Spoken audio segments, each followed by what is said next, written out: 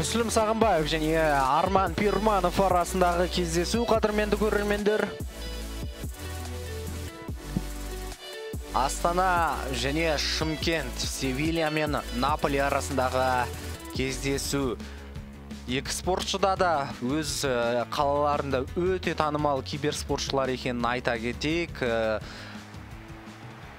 дегенмен биылғы маусымдағы осы турнирде жағдайлары керемет деп айтуға келмейді.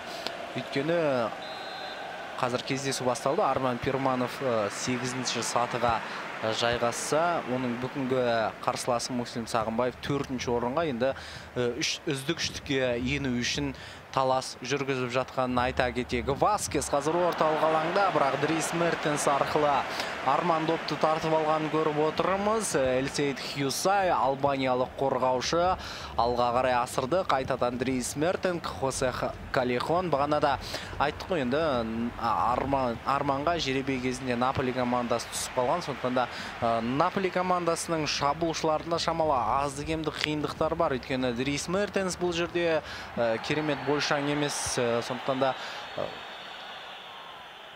әуелетіп ойнау кезінде арманда біраз қиындықтар бар. Дрис мертенс алға қарай асырды бірақ бұл жерде ойыннан тыс қалған. Иә лоренцо инсиньо ойыннан тыс қалды. Оның төреші де э, бірден бағамдады. Және мүслім сағынбаев осы жерден э, еркін соққымен кездесуді ары қарай жалғастыратын болады. Міне бейне қайталауда да ойыннан тыс қалған эпизодты жақсы э, көрулеріңізге болады. Мүслім сағынбаев өткен турда артур малинимен кездесу өткізген болатын. Қадірмен көрермендер және э, төртте үш есебімен жеңген болатын. Ал э, шымкенттік арман пирманов болса тараз қаласының өкілі елжан амангелдімен кездесті. Барселонамен ойнайтын және 0-де 3 есебімен жеңіліп қалған болатын. Мигель лайон қазір орталық алаңда. Нзонзи арқылы ойнап отыр. Васкес жерлете жақсы пас еді. Алайда арман пирманов қарсыласының бұл идеясын оқып қойды. Дрис мертенс лоренцо инсиньо және әдемі керемет пас онас арқылы ойнап отыр соққы. Және арман пирманов. Бірде нөл есебімен ә, алға шығып отыр. Қазір қайталауда тамашалаймыз. Қадірмен көрермендер бұл жерде арман пирмановтың комбинациясы өте зор шыққан болатын. Инсиньяның пасы әсіресе екі бірдей ә, тіпті үш бірдей орта адамның орташынан адам онасқа шығарып берді және 37 номердегі ойыншы өз мүмкіндігін мүлт жіберген жоқ. Және қазір енді ә, мүслім сағынбаевтың жауабы қандай болатынын тамашалайтын боламыз. Эвер банега васкес арқылы ойнап отыр. Лаюн васкес солға қарай қайтарды. Эскудеро меркадо арқылы ойнады. Нзонзи васкес жерлете бенедерге тастады. Орталық алаңда қазір муриелдің жүргенін көріп отырмыз. Муриелдің соққысы рейна өз орнында. Рейна өз орнында. Командасын аман сақтап қалып отыр пепе рейна. Дегенмен мүслім сағынбаев қазір бұрыштан допты көтеруге мүмкіндік алып отыр. Бұл ә, кездесудің 15-ші минут әзірше арман пирманов ә, алда келе жатқанын айта кетейік. Айбаланға қарай асырылған пас соққы!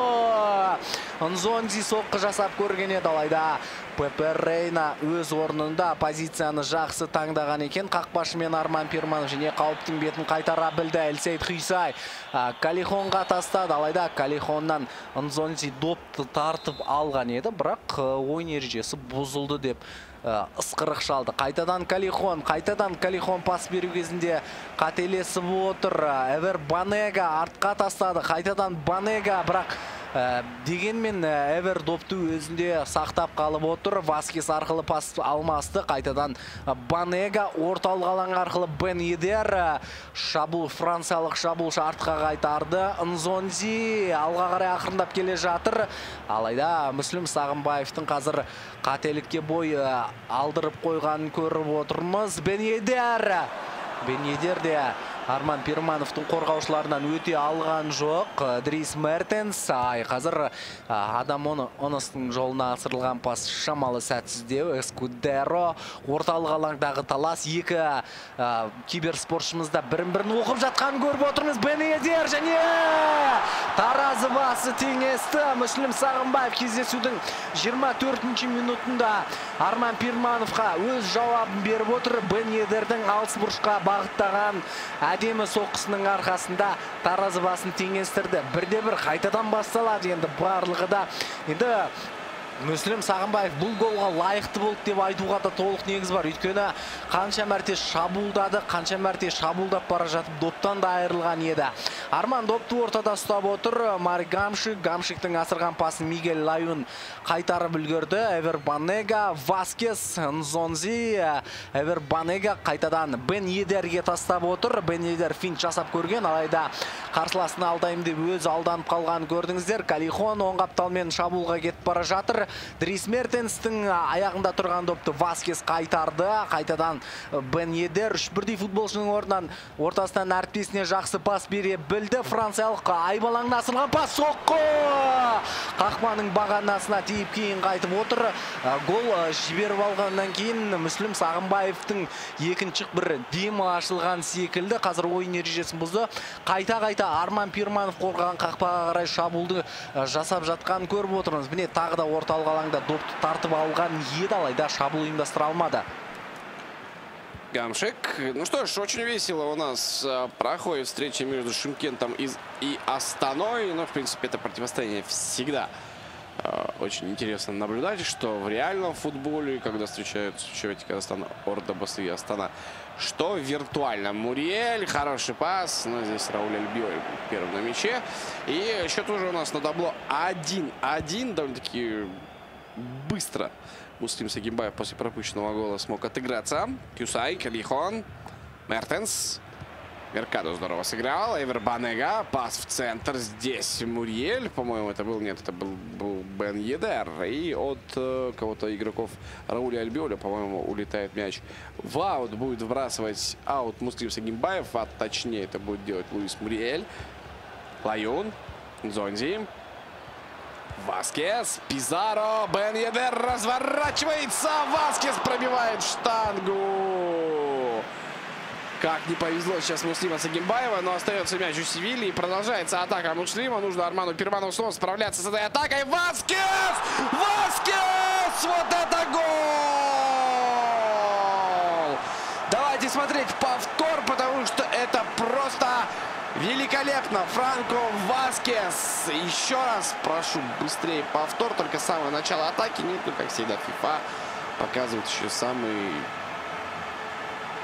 не очень повтор. Ну что ж ты будешь делать с этими видеоповторами? Тем не менее, Франко Васкес забивает блестящим ударом от перекладины. И счет на табло у нас становится снова 2-1. 2-1, 39 минута встречи. Муслим Сагимбаев выходит вперед. Ошибается Арман Пирманов. Эвер Банега рвется вперед. Сам пойдет Муслим Сагимбаев. Да, Кулибали аут. Нет. Нарушил все-таки правила Кулибали.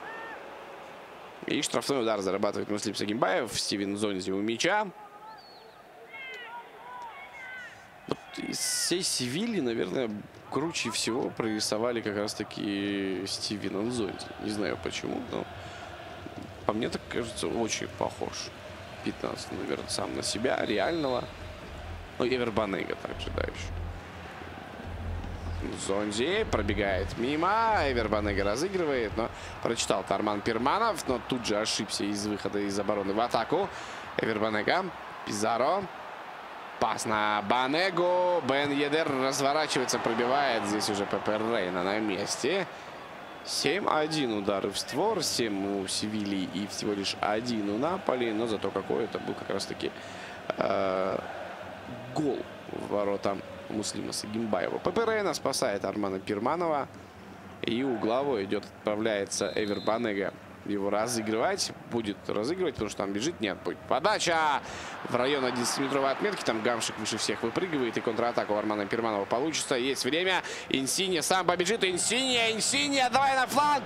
Там есть совсем. Вот сейчас получает Мертенс. Возвращает на Инсинья. И на этом что? Атака закончится? Нет, Мертенс развелся уже. Там Муслим Сагимбаев, при, когда отдавал передачу Арман Перманов, понимал, что э, передача сейчас пойдет именно туда. Поэтому защитником стоял вот посередине. И э, все правильно сделал, поэтому ничего опасного не получилось у Армана Пирманова. Еще и нарушает э, в атаке правила э, представитель Шимкента. Три минуты добавляется к первому тайму. Э, счет на табло по-прежнему 2-1. Впереди Муслим Сагимбаев.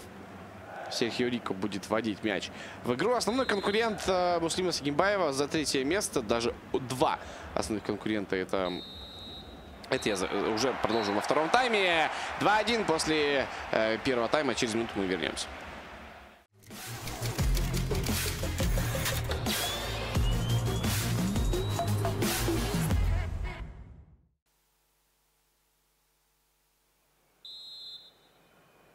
Мүслім сағынбаев пен арман пирманов арасындағы кездесу жалғасуда. Екінші таймда арман орталық алаңнан бастап отыр. Әзірше шымкенттік киберспортшы бірде екі есепмен жеңіліп жатыр. Дегенмен бұл кездесудегі есепті арман ашқан болатын. Севилья қазір жақсы қорғана білді. Қорғаныстан жақсы шыға білді. Луис мурьель алайда доптан айырылып қалғанын көріп отырмыз. Алан онас онастың аяғында тұрған допты пизаро тартып алды. Эвер банега луис Gabriel arqa o'ynab o'tir бірақ писсароның асырған пасы әріптесіне жете қойған жоқ. Бірінші таймның қорытындысы бойынша соққылар статистикасына енді мүслім сағынбаев айтарлықтай алда келе жатқанын айта кетейік. Жетіде бір болған еді. Арман бір мәрте ғана тура соққы жасаған және сол соққының арқасында гол соққан болатын еді. Адамонос гол соққан болатын. Ал бірақ мүслім сағынбаевтың да жауабы керемет шықты. Қақпаның бағанасына тиіп тұрып доп қақпаға еніп кеткен болатын нзонзи мигель лаюн оң қаптал арқылы ойнап жатыр муриел вербанеге қалдырды. Оңға қарай қайтадан муриел керемет бас бірақ қорғаушыларын қазір арман керемет жұмыс істете білді де допты тартып алғанын көріп отырмыз. Орталық алаңда нзонзи ойын ережесін бұзған екен. Еркін соққымен арман пирманов кездесуді ары қарай жалғастыратын болады. Гамшик арқылы ойнап отыр. Файзи гулям. Гулям орталық алаңға беруге де болады. Иә гамшик гамшик допты өзінде ұстап тұр. Нзонзиға беруге шақ қалған еді. Дегенмен қазір мүслім сағынбаев прессингті өте әдемі жасап жатыр. Арманға осы прессингтен шығудың өзі қиындау болып жатқанын көріп отырмыз. Гулям орталық алаңға ары қарай асырған еді. Алайда бұл жерде нзонзи бар ұзын сирақтармен допты қайтарып үлгерді. Муриел қайтадан допты өзіне енді мүслім көбірек ұстауға тырысуда. Оң арқылы әдемі шабуыл. Муриел айбаланға асырылған пас. Эвер банеге соққы! Және есеп үште бір қадірменді көрермендер мүслім сағынбаев франко васкестің дублінің арқасында қазір үште бір есебімен алға шығып отыр. Енді кездесуді айттық. Арман пирманов жақсы бастады. Алайда мүслім сағынбаев абдыраған жоқ сасқан жоқ ары қарай өз ойын ойнады. Нәтижесінде көріп отырсыздар. Үште бір дегенмен әлі де болса арманға есептің есептегі таблодағы көрсеткішті өзгертуге мүмкіндік бар. Қазір мүмкін үзіліс сұрайтын шығар мүмкін ойыншылар алмаса алмастыратын шығар деген ойдамыз. Дегенмен енді наполи командасының сапында алаңға шығатын тың ойыншылардың қатарында керемет мықтылар жоқ деп айтсақ та болады. Аркадиуш миликтің бар екенін білеміз.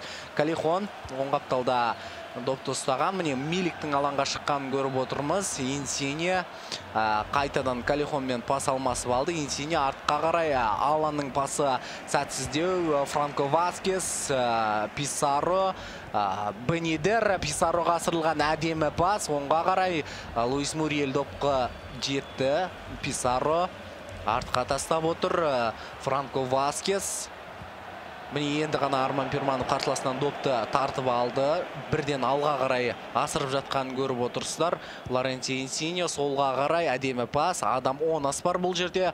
Оң оған қарсы мигель лаюн ойнап жатыр. Оны сартқа тастады. Файзи гулям гулямның өзі айбалаңына кірді. Аркадиуш милик миликке е соққы жасауға да е бұрылуға да мүмкіндік берген жоқ. Мүслім сағынбаев және допты тартып ала білгенімен арман пирманов допты өзіне қайтадан алды. Енді жаңа бір шабуылын бастау керек еді. Алайда тағы да ортадан ортада айырылып қалды. 3-1 Муслим Сагимбаев обыгрывает Армана Пирманова. Инсинье здорово сыграл в обороне, но мы такой же счет видели совсем недавно. В прошлом матче, который был у нас в эфире между Анатом Илюсиновым и Жеребиком Салимом, именно с таким счетом Атлетика Мадрид также выигрывал у Манчестер Сити, но 3-3 смог сделать Жеребик Салим.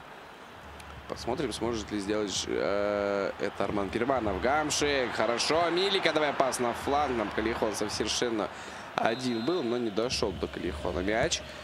Подача углового. Зонзи выпрыгивает на мяч, выбивает его, но остается мяч у Кюсая. Гамшик. Рауль Альбиоль э, потерял мяч, но Зонзи перехватил его. Эвер Баннега не дошел мяч до нападающего Севильи. Аркадий Шмелик. Потерял мяч Арман Пирманов. 80-я минута встречи. Милик. Здорово. Инсине забивать нужно. И забивает Арман Пирманов. 3-2. Там, по-моему, убил Паука в девятке. Смотрим еще раз. С левой ноги мощно, сильно, но практически, да, в девятку. Классный гол забивает Арман Пирманов. И 3-2. 3-2 на табло. Арману Перманову нужно сделать всего лишь один шаг для того, чтобы не проиграть в этой встрече. Пизаро. Если так матч заканчивается, Муслим Сагимбаев единолично занимает э, третью строчку. Плюс мы знаем, что Ильжан Аманкильды уже потерял очки. Это значит, что там еще и сокращает отрыв от второго места Муслим Сагимбаев. Но нужно, правда, выиграть Муслиму у непростого Армана Пирманова. Эвербанега. Пизаро.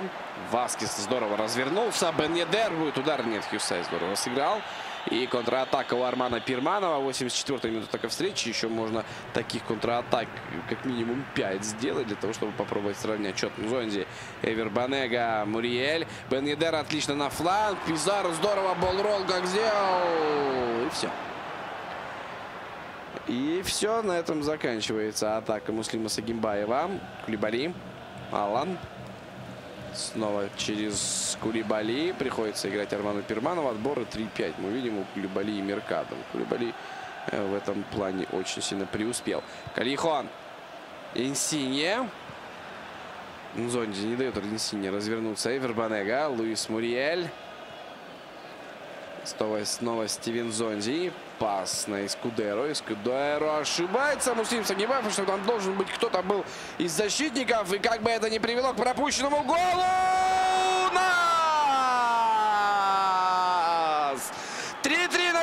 90 минуте Муслим Сагибаев сам себе привозит этот гол.